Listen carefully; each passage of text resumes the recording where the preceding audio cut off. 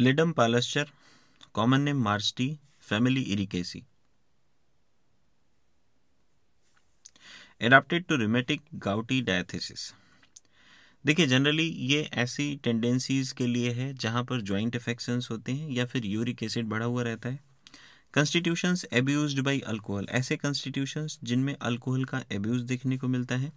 ऐसे ही कॉल्चिकम में भी इंडिकेट होता है। Haemorrhage into anterior chamber after iridectomy देखिए, आई में क्या होता है, दो चैम्बर्स होते हैं एंटीरियर चैम्बर होता है, एक पोस्टीरियर चैम्बर, जिसको हम विट्रस चैम्बर कहते हैं। तो इरिडेक्टमी के बाद आइरिस के रिमूवल के बाद अगर एंटीरियर चैम्बर में हेमरेज हुआ हो, ब्लीडिंग हुई हो तो उसके लिए लिडमपाल इंडिकेट होता है। Contusions of eye and lid. आँख पे चोट लग गई हो, लिड में चोट लग गई हो आई लिड में, specially if much extravasation of blood.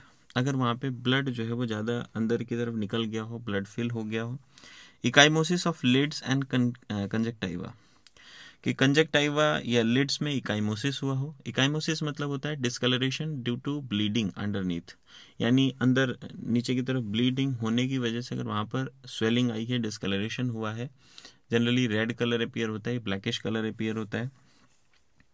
रिमेटिज्म और गाउट रिमेटिज्म यानी वही ज्वाइंट इन्फेक्शन है यूरिक एसिड बढ़ा हुआ है। Begins in lower limbs and ascends so lower limbs में स्टार्ट होता है और ऊपर की तरफ़ चढ़ता है असेंड करता है। अगर डिसेंड कर रहा है तो कैलमिया लेटिफोलिया इंडिकेट होता है।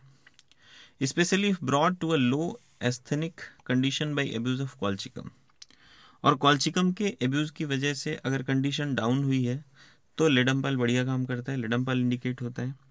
Joints become seat of nodosities and gout stones कि ज्वाइंट जो है वो सीट बन गए हो, यानी वहाँ पर नोडोसिटीज़ हो गई हो नोडोसिटीज़ का मतलब है naughty swellings.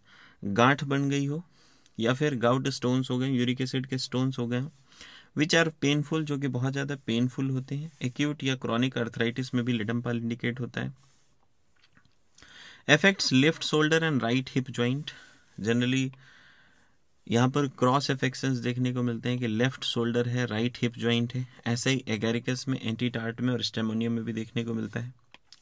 Emaciation of affected parts यानी जो अफेक्टेड पार्ट है, वहाँ पर इमेशिएशन देखने को मिलते हैं, यानी लॉस ऑफ़ मसल्स यानी जो पार्ट हैं, वो दुबले पतले होने लग जाते हैं, ऐसा ग्रेफाइटिस में भी देखने को मिलता है। पेन्स आर स्टिकिंग पेन्स कैसे होते हैं, वहाँ पर चुभन होती है। ये लगातार जैसे स्टिक से कोई, कुछ चुभा रहा हो। टीयरिंग टीयरिंग पेन होता है थ्रॉबिंग यानी तपकन होती है। Rheumatic pains are aggravated by motion जो रोमेटिक पेन्स हैं, वो मोशन से एग्रेवेट होते हैं.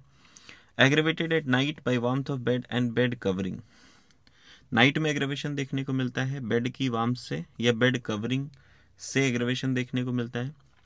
ऐसा मरकरी में भी देखने को मिलता है.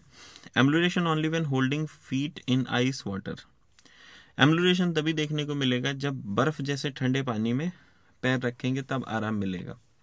ऐसा सिकेल कॉर में भी देखने को मिलता है. Complaints of people who are cold all the time ऐसे लोगों की दिक्कतें जो हमेशा ठंडे रहते हैं। वहाँ पर लेडमपाल इंडिकेट होता है। Always feel cold and chilly हमेशा ठंडा फील करते हैं, हमेशा ठंड लगी रहती है जिनको। लैक ऑफ़ एनिमल और वाइटल हीट ऐसे पर्सनस जिनमें एनिमल या वाइटल हीट की कमी होती है। दो और मेडिसिन है यहाँ पर इंडिकेट होती हैं सीपी और silicea the wounded parts specially are cold to touch जो स्पेशली वोंडेड पार्ट्स हैं, वो भी कोल्ड टू टच होते हैं। जनरली क्या होता है कि जब कहीं पे आपको चोट लगी चोट लगती है तो वहाँ पर इन्फ्लामेशन होता है। और इन्फ्लामेशन होता है तो पार्ट जो है वो जनरली टेम्परेचर उसका ज़्यादा रहता है। पर लेडम पाल के केस में जो वोंडेड पार्ट हैं, वो भी कोल्ड टू टच होते हैं। Parts cold to touch but not cold subjectively to patient part part जो है वो छूने में कोल्ड होगा। लेकिन पेशेंट के लिए सब्जेक्टिवली वो कोल्ड नहीं होगा। यानी पेशेंट को कोल्ड फील नहीं होता है। In some affections warmth of bed intolerable on account of heat and burning of limbs कुछ कुछ एफेक्शंस में ऐसा देखने को मिलता है कि जो वार्मथ ऑफ़ बेड है, वो इंटॉलरेबल होता है। हीट की वजह से या लिम्स में बर्निंग की वजह से। स्वेलिंग ऑफ़ फीट फीट में स्वेलिंग देखने को मिलती है। अप टू नीज घुटनों तक। Of ankles with unbearable pain when walking ankles में स्वेलिंग देखने को मिलती है। चलने फिरने में अनबियरेबल पेन होता है। एज फ्रॉम ए स्प्रेन जैसे स्प्रेन हो गया हो या फाल्स स्टेप पड़ गया हो।